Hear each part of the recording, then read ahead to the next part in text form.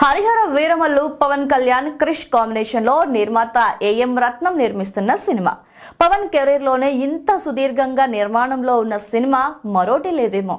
ఏనాడో జమానా కాలం నాడు ఇచ్చిన ఈ అడ్వాన్స్ సినిమాల్లోకి వచ్చిన తర్వాత పవన్ స్టార్ట్ చేసిన సినిమా ఇది.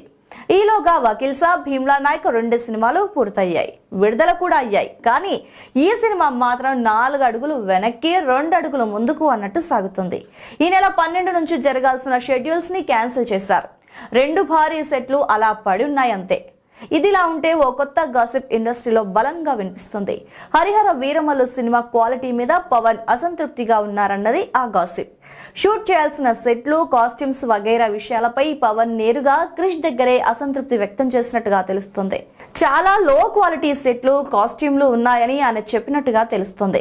అలాగే అదే సమయంలో తనకు చెప్పిందేంటి తీస్తున్నదేంటి అని క్రిష్ దగ్గర పవన్ అసంతృప్తిని వ్యక్తం చేశారని వార్తలైతే వినిపిస్తున్నాయి. చూస్తుంటే ఈ సినిమా ఈ ఈ ఏడాది విడుదలవుతుందా అనే అనుమానాలు కూడా వ్యక్తమవుతున్నాయి. దసరాకు విడుదల అనుకున్నారు కానీ ఇంకా చాలా వర్క్ ఉంది. పైగా ఆంధ్రాలో పొలిటికల్ యాక్టివిటీలు పెరుగుతున్నాయి. ఇలాంటి నేపథ్యంలో పవన్ సినిమాలకు సమయం కేటాయించాల్సి ఉంది.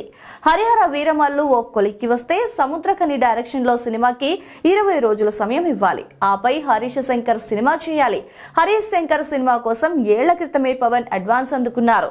అలాగే సముద్రకని సినిమా కోసం నెల క్రితమే అడ్వాన్స్ అందుకున్నారని భోగట్ట